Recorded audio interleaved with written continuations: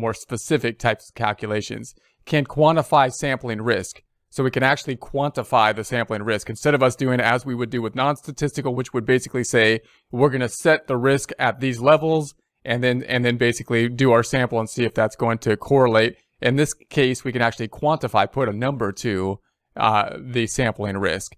Disadvantage of statistical sampling. So you might say, well, why wouldn't we do the statistical sampling then? Well, cost uh, more to train auditors in the techniques. Statistics isn't the most easy thing to do, obviously. And there's a lot of, just like when you think about statistics being applied to different types of samples and polling and all the kind of things that can, the problems that can be in statistical sampling, we got to be aware of those types of things as well when we apply statistical sampling to whatever type of sample we are testing for.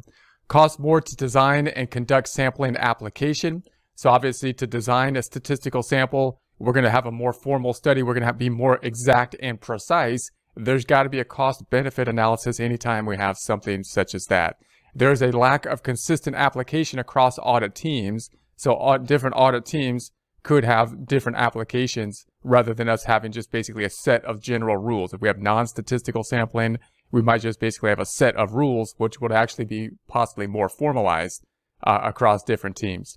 To statistical sampling techniques, we have attribute sampling, we have monetary unit sampling, we have classical variables sampling. Now we'll go into these in more depth, starting with the attribute sampling. So attribute sampling used to estimate the proportion of a population that possesses a specified characteristic.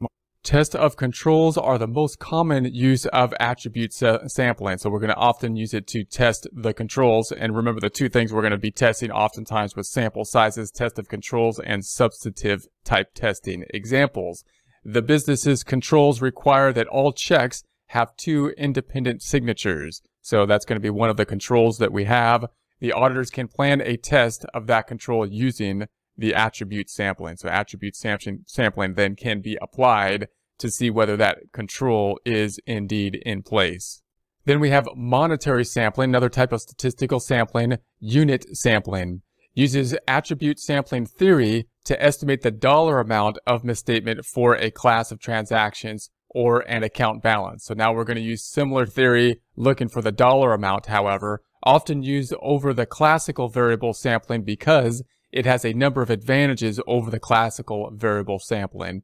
And then we'll take a look at the classical variable sampling. Auditors sometimes use classical variables sampling to estimate the dollar value of a class of transactions or account balance. It is more often used to determine whether an account is materially misstated.